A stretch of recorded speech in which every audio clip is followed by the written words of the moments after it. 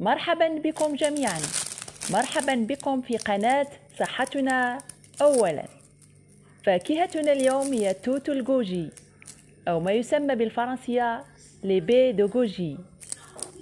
توت الجوجي هو توت صغير ذو لون أحمر ينمو في كل من الصين ومنغوليا وكثر عنه الحديث في الآونة الأخيرة لاحتوائه على مجموعة من المواد المغذية والمعادن والفيتامينات.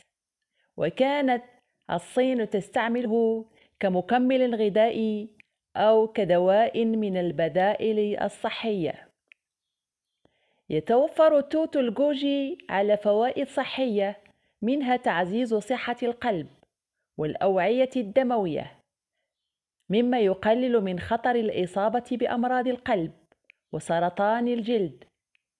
ويساهم في تعزيز وتقوية المناعة وهو غني بمضادات الأكسدة لأنه يحتوي على كمية كبيرة من البيتا كاروتين أكثر من الكمية التي توجد في الجزر.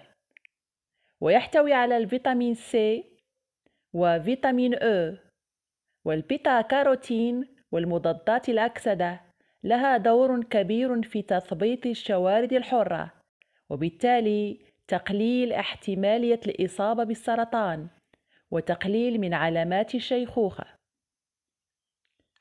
وهذه الفاكهة غنية كذلك بالبروتين ومصدر مهم من السيلينيوم وغني بجميع الأملاح المعدنية يساهم في إنقاص الوزن. وله المساهمة الكبيرة على خفض ضغط الدم.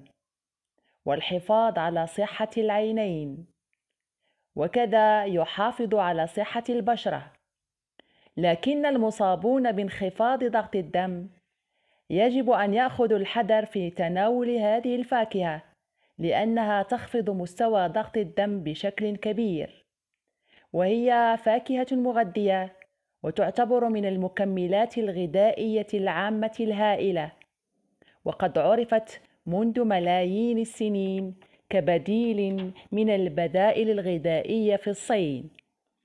ولكن يجب على كل من يريد تناول توت الجوجي أن يكون على علم بالتفاعلات الدوائية مثلا الذين يعانون من مرض السكري يمكن أن يؤثر تناول الجوجي على الأنسولين ووظيفة البنكرياس. لهذا من الضروري استشارة الطبيب.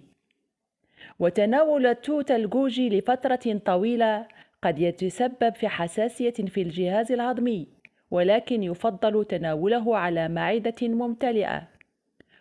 ويزيد هذه الفاكهة من سيولة الدم لأنه يؤثر على تخثر الدم ينصح للحوامل عدم تناوله. إذا هذه الفاكهة الهائلة بالمعادن والغنية بالفيتامينات. يجب أن نستعملها في تغذيتنا ولكن بكمية قليلة. شكرا لكم على المتابعة وإلى لقاء قريب إن شاء الله. ولا تنسوا الإعجاب بقناتنا والمشاركة حتى يصلكم كل جديد.